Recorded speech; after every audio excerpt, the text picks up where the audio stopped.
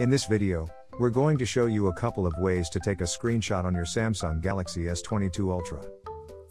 Taking a screenshot is easy on your Galaxy S22 Ultra.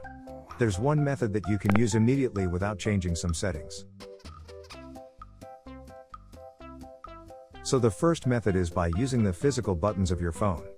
You simply have to press two buttons simultaneously and your Galaxy S22 Ultra will immediately take a screenshot. Here's how it's done.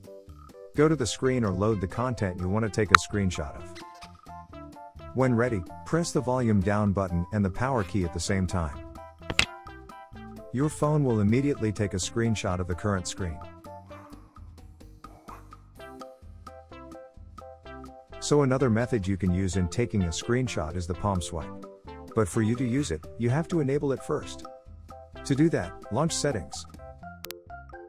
Scroll down and tap advanced features. Look for motions and gestures and tap on it. Now tap the switch next to palm swipe to capture. Once enabled, you can now use it to take a screenshot. So load the content you want to capture, and then swipe the side of your hand across the screen. You would know if it's successful because the screen will flash and a bar will pop up at the bottom of the screen. You can swipe from left to right, or right to left.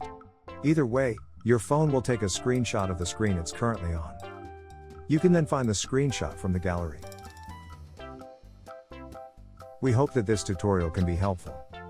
For more tips like this, subscribe to our channel or click on another video to keep watching. Have a great day.